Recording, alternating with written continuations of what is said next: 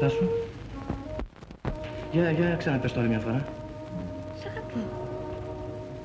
Έλα, έλα, έλα. έλα. Τα λέμε και πάνω. Τι έπαθες; Για, για πες το. Σ' αγαπώ.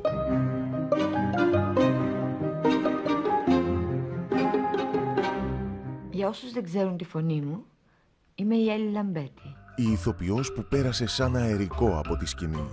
Κάθε ερμηνεία της μοναδική, χωρίς μιμητές. Έξι ετών αποφάσισε να γίνει ηθοποιός. Μαθήτρια γυμνασίου, ήδη έπαιζε τον πρώτο της ρόλο στο θέατρο. Ο Φακός την λάτρεψε και το κοινό συνεχίζει να τη θαυμάζει. Λοιπόν, πω το καινούργιο τραγούδι που λένε στην Αθήνα. Το άκουσα στο ραδιόφωνο.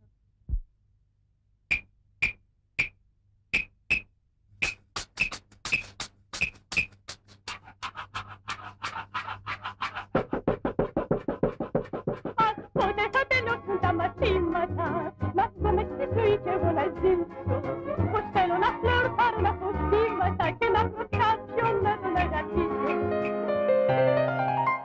Ήταν 3η και 13 του 1926, όταν η κυρία Τάσα Λούκου από τα Βίλια Αττικής έφερνε στον κόσμο τα δίδυμα παιδιά της. Άκουσε το κλάμα του αγοριού και ησύχασε. Το δεύτερο όμως έμενε σιωπηλό. Ο γιατρός και η νοσοκόμα με αγωνία προσπαθούσαν να το κρατήσουν στη ζωή.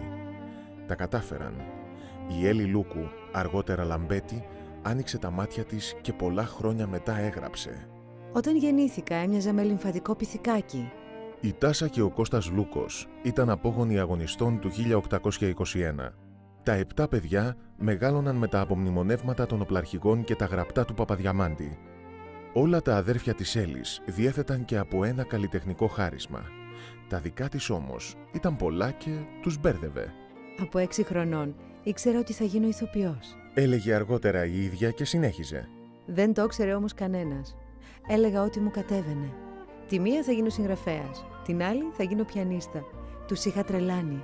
Το 1928 η οικογένεια μετακόμισε στην Αθήνα. Ο πατέρας ασχολούνταν με εμπόριο ξυλίας. Η μητέρα ήθελε να σπουδάσουν όλα της τα παιδιά.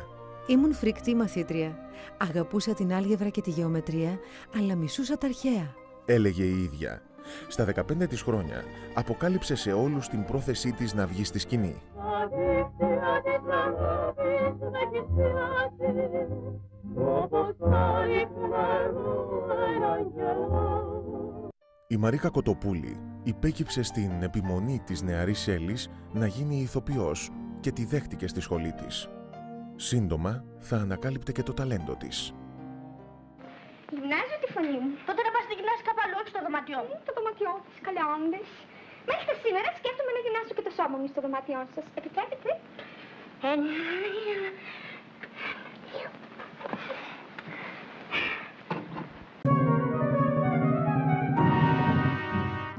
Απρίλιος του 1941. Τα στρατεύματα του Φίρερ στην Αθήνα.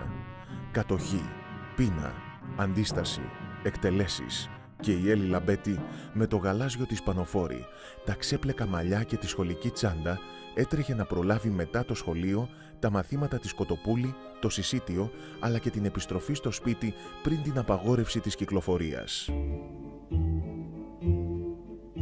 Ηθοποιός σημαίνει φως. Είναι καημός πολύ πικρός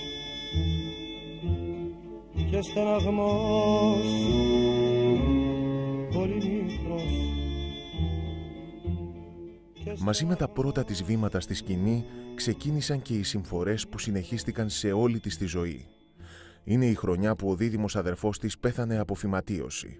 Η Κοτοπούλη την βρήκε θλιμμένη πίσω από τα σκηνικά. Μπέτη ήταν ένα πρόσωπο μοιραίο στην ε, ζωή της. Συνέβησαν πάρα πολλά πράγματα. Ε, έχασε τον αδελφό της στο δίδυμο, έχασε την αδελφή της από καρκίνο, έχασε την άλλη της αδελφή από αυτοκινητιστικό δυστύχημα, τη μητέρα της στα χέρια της μέσα στον εμφύλιο, από ε, εξωστρακίστηκε μια σφαίρα και τη χτύπησε.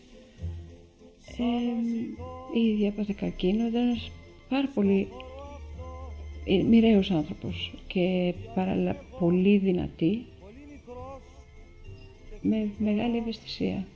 Λίγες ημέρες μετά, την έκανε από κομπάρσα πρωταγωνίστρια στο έργο «Η Χάνελε πάει στον Παράδεισο». Η ίδια η μεγάλη Μαρίκα Κοτοπούλη κράτησε έναν μικρό ρόλο προς έκπληξη όλου του θειάσου. Την απέτρεψε και από το να κάνει ορθοφωνία για να διορθώσει την ψευδή της άρθρωση που θεωρούσε ιδιαίτερη. Έβλεπες στην Έλλη τη διάδοχο και κόρη της. Φαίνομαι ψευδή τώρα γιατί με στριμώχνεις στη λέξη ψευδίζω. Ξέρεις γιατί λένε ψεύδισμα; Γιατί από μόνος του, μου το έχει πει η Μαρίκα Κοτοπούλη, ο ήχος ψ, του πους προδίδει αυτόν που ψευδίζει. Γιατί ένας που ψευδίζει δεν, ψευ... δεν ψευδίζει σε όλα. Μου είχε μιλήσει για, το, για την πίστη που είχε σε αυτήν η Κοτοπούλη ε, και για τον πρώτο ρόλο που της έδωσε στη Χάνα δεν πάει στον Παράδεισο και την απεργία που κάνανε οι ηθοποιοί τότε με το σκοπό να μην, να μην δώσει το ρόλο αυτό σε ένα νέο κορίτσι, ήταν 16 χρονών το 1942. Η δασκάλα δικαιώθηκε. Μετά την πρεμιέρα όλοι μιλούσαν για το πώς η Χάνελε αναδύθηκε μέσα από το γυάλινο φέρετρο ακουμπώντας μόνο στα απέλματά της. Για να το πετύχει, η Λαμπέτη γύμναζε επί μήνες τους κοιλιακούς της μυς. Η στιγμή έμεινε αξέχαστη στα θεατρικά δρόμενα της εποχής. Ήμουνα μια κοπέλα που λέγανε ότι είναι όμορφη, που ήξερε να κεντάει, να μαγειρεύει, να χορεύει. Η 18χρονη Έλλη αφοσιώθηκε στο θέατρο. Έκλεισε συμφωνία με τον Θίασο Μουσούρη από όπου θα πληρωνόταν με το βασικό μισθό και μία κουταλιά βύσινο μετά από κάθε παράσταση. Όταν μου είπε πως με αγαπάει και τον έδιωξε, είπε... είπε... Νόμιζες πως θα μπορούσα εγώ ποτέ να ερωτευτώ αυτό το...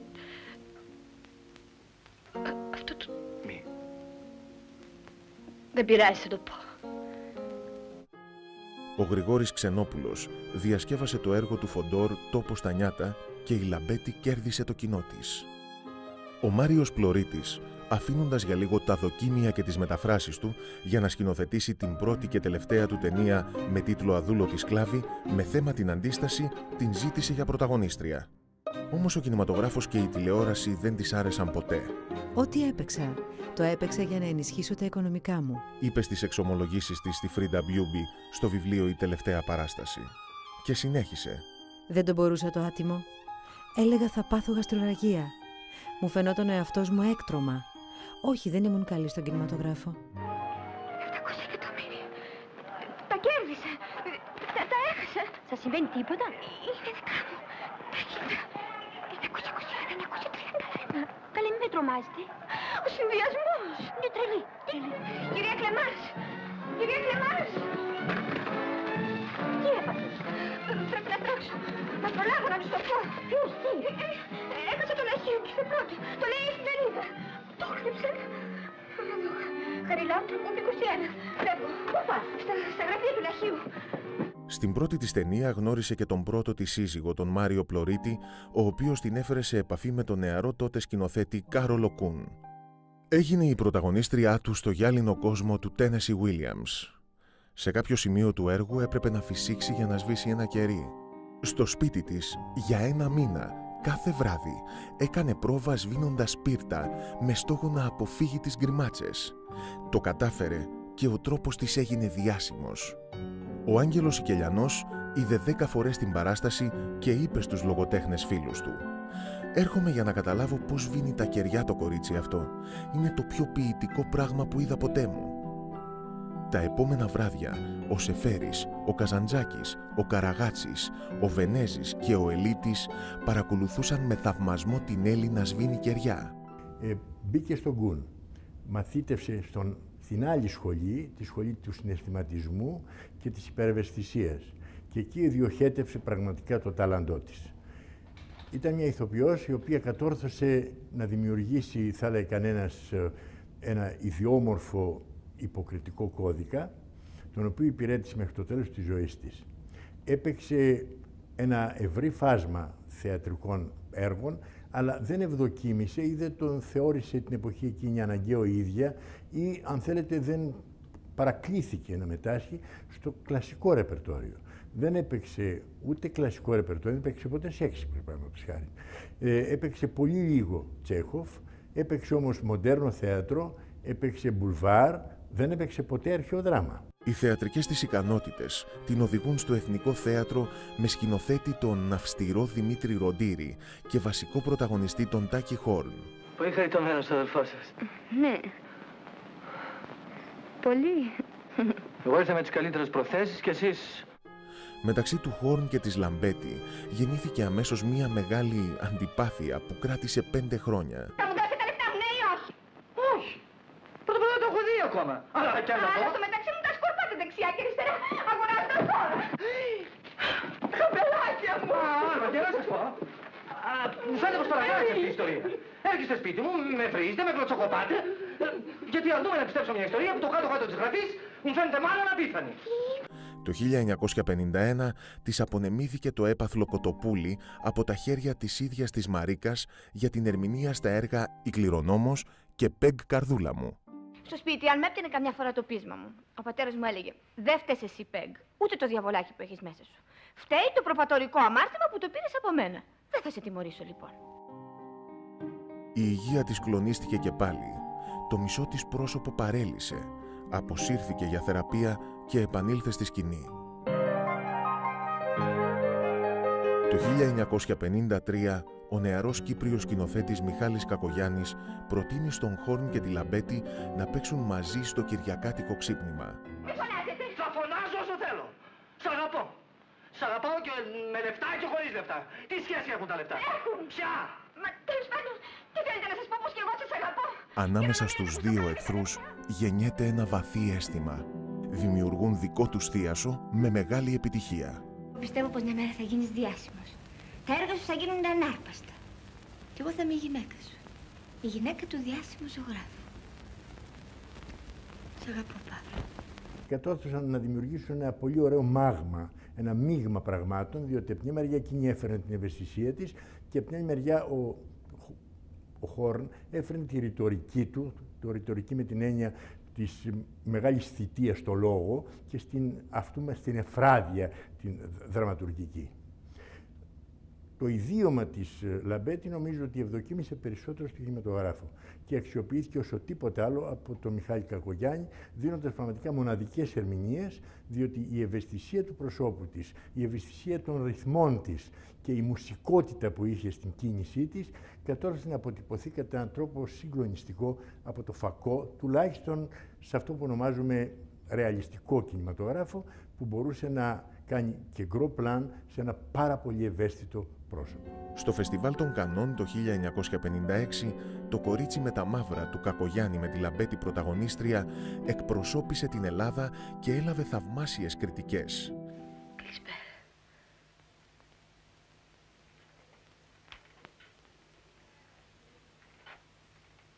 Ήρθα να σε δω. Τον πήγανε στο τμήμα για ανάκριση. Ξέρω πώς νιώθεις, αλλά δεν φταίς. Δεν φταίς σε τίποτα. Παύλο. Αχ, Θεέ μου. Θέλω να σε βοηθήσω, αλλά δεν ξέρω πώς. Παύλο, κοίταξέ με. Σου ορκίζομαι πως δεν φταίς. Δεν, δεν πρέπει να υποφέρεις. Είναι κρίμα. Είναι... Σε παρακαλώ, Παύλο. Σε παρακαλώ. Τα παιδιά τα βλέπω συνεχώς μπροστά μου. Το 1957 πάλι στις Κάνες, ο Κύπριος σκηνοθέτης με την Έλλη παρουσιάζουν και εντυπωσιάζουν με την ταινία «Το τελευταίο ψέμα». Οι κριτικές ακόμη καλύτερες για την ταινία και την πρωταγωνίστρια. Χαρακτηρίζουν την Έλλη ως νέα Γκρέτα Γκάρμπο. Είναι η μόνη πιθανόν Ελληνίδα ηθοποιός που δεν μπόρεσε να φτιάξει μαθητές, δηλαδή και μιμητές της, γιατί ήταν πραγματικά μια ιδιόμορφη περίπτωση. Ακολούθησε μία ακόμη ταινία με τον Μιχάλη Κακογιάννη σε σενάριο Φρέντερικ Wakeman. Η ταινία είναι το χαμένο κορμί και ο σεναριογράφος ο δεύτερος σύζυγός της. Το 1969 είναι η χειρότερη χρονιά. Μαθαίνει ότι πάσχει από καρκίνο. Η τελευταία θεατρική της εμφάνιση ήταν το 1981 στο έργο «Τα παιδιά ενός κατώτερου θεού», όπου έπαιξε το ρόλο της Κοφάλα Λισάρας. Η ίδια λόγω της ασθένειας είχε πλέον μία φωνητική χορδή και πίστευε Η ζωή δεν έχει κανένα νόημα. Όταν δεν είσαι παρόν, όταν δεν μπορείς να εργάζεσαι, να κάνεις κάτι, δεν υπάρχει λόγος να ζεις. Πρέπει να σας αποχαιρετήσω. Γεια σας.